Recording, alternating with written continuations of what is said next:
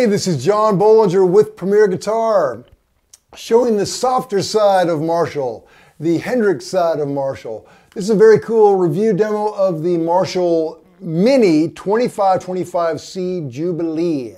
So in short, at their uh, Silver Jubilee, um, they came out with, well, the Silver Jubilee. And this is a smaller, more compact version of that now classic amp. I'll tell you all about it after I tell you about how we're recording this. So it couldn't be simpler. I'm plugging, this is my 1955 Fender Stratocaster, stock-ish. I'm running it directly in to the Jubilee with a stock cable, or uh, with a Klotz cable. We're miking the amp with a Royer R121 It's about, uh, probably about three inches off the speaker. That's running in an Apogee Quartet and in Pro Tools. Later on, I'll be playing my um, PRS custom as well, so you can get a humbucker flavor for it and I'll plug that straight in as well. And in addition to that, I'm using a, there's a very cool effects loop on this amp, and so I'm using a MXR reverb running in and out of the effects loop. But I'll turn that off now so you can get kind of the idea without it. So the, basically, this amp has all the features of the original, plus some very cool other bits. Number one, it's a combo, which I love. Uh, something you can carry with you with ever, uh, wherever you go. And although it's a 20 watter, you can, right here, you can swap, uh, swap it to five watts on the low setting, which is great, particularly in, um, for cameraman Perry right now. It, it, would be pretty punishing at full volume. But we'll get into that later on. Uh, so much like the original Jubilee series in 1987, very simple settings right here. We've got presence, which I have down a little bit, bass, which I have up a bit, mids I have up a bit, treble down to 3 o'clock, then our master output, um, which uh, if you don't have the control switch, which I do, the channel switching, this will, that will allow you to change channels. Um, next to that is the lead master and then the, uh, uh, the, the first channel, the clean channel master. So it's a pretty simple straight ahead layout, much like you'd find on any Marshall but giving you some cool options with the whole channel changing and all that bit. And in addition to that, um, in the back of the amp, you have an output for a 4, 8, or 16 ohm speaker. Right now, we're running the in uh, the speaker that comes with it, which is a Celestion G12M25 greenback. Um, there's also a DI output in back, uh, and that's about the size of it. Why don't I just play a little bit, spin some knobs, you can see what it does with the Strat and with humbuckers. So why don't we start with the input gain, the clean channel. You know, Marshall's their bread and butter, their fame is all about the dirt, but man, they make a really nice clean platform.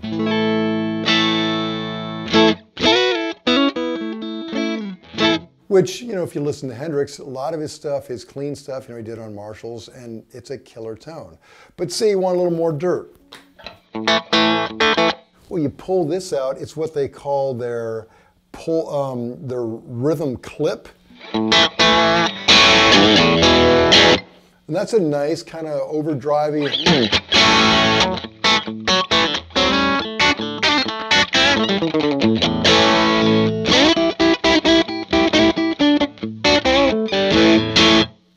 So very cool feature. Um, to me, I like it what I like about the controls on the Marshalls, when you, you know, as far as the EQ goes, when you boost them up, you hear it, like on this bass. Let's try that. I'm gonna get back to the clean setting.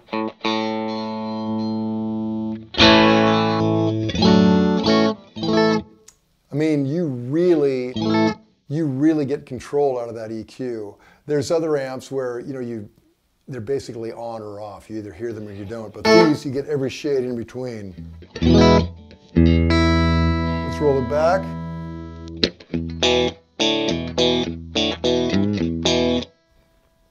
I like it up there. In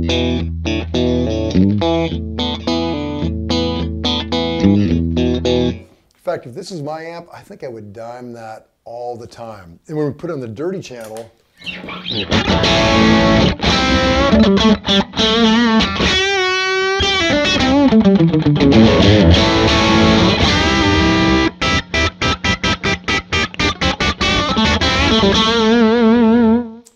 Nice, right? Okay, same with the mids. Jack those way up. You get a nice, you know, that really cuts, man. And then put some dirt on it.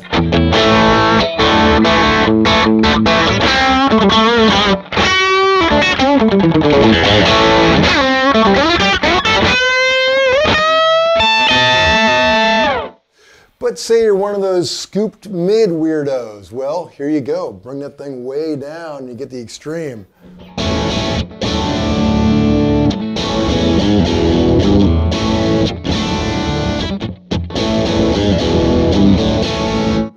In fact, why don't we put on some humbuckers and see what that does? Okay, so now we're in humbucker land. Let's kind of bring that up in about the middle see what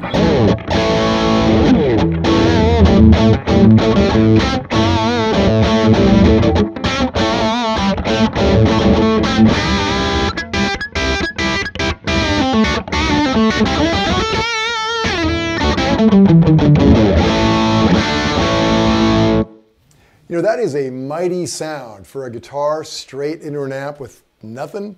That is big, man. Now, let's jack with this treble a little bit. I've got it down because I, I think, um, as I said, these these controls you get a lot with them. Man, when you bring this treble in, it gets it gets. Uh...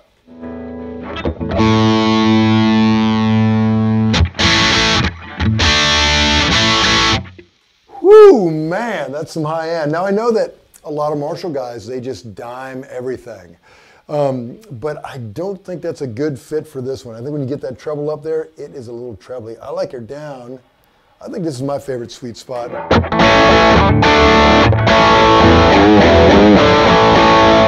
let's not forget presence. Let's bring that up a little bit.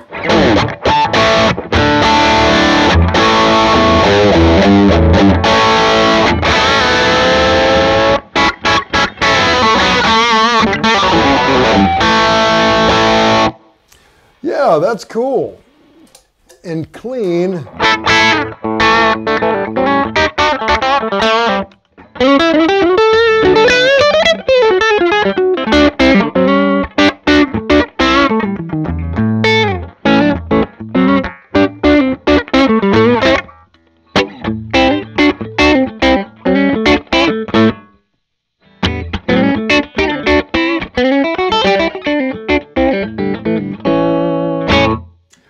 Think that's my favorite right there. With the uh, with the mids down or mids like at about seven, bass all the way up, treble back at about three, and presence up. It's interesting. You know, you can you can with those few knobs, you can really get wildly different tones. So by way of comparison, I'm going to put it on on full power so you can hear what that sounds like.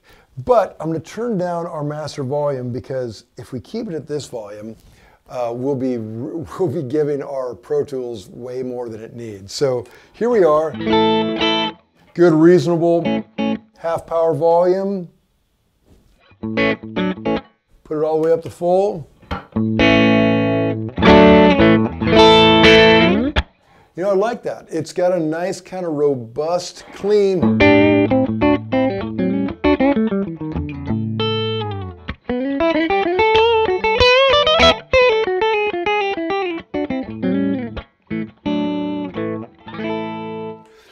Know, I like it better clean um, on the 20.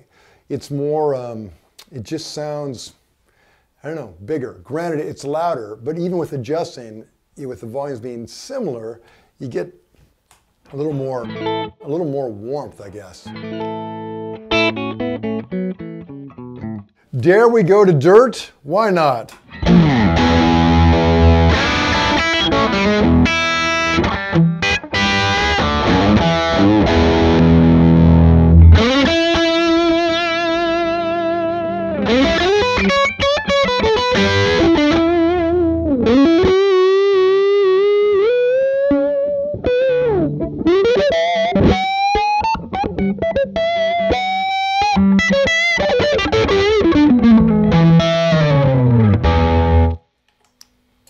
Good tone, right? And then if we just add a little more dirt, these have so much dirt in them.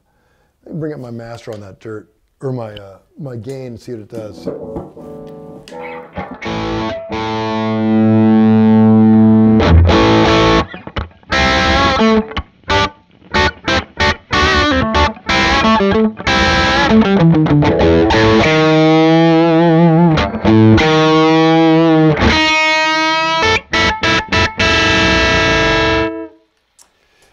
Man, that's really the sweet spot. So I love that it has the five watt thing, but to me, when you've got the bass just jacked all the way up, mids up a little bit, presence up a little bit, treble back, and on 20 watts, both clean and dirty, it's just way more alive. Great sounding amp. So those are the basic details. Uh, to read the full written review, go to premierguitar.com. While you're online, make sure you like us on Facebook. Subscribe to our ever-growing YouTube channel. Check out Instagram, Twitter, all that jazz. We're out there. It's John Bohlinger. Till next time.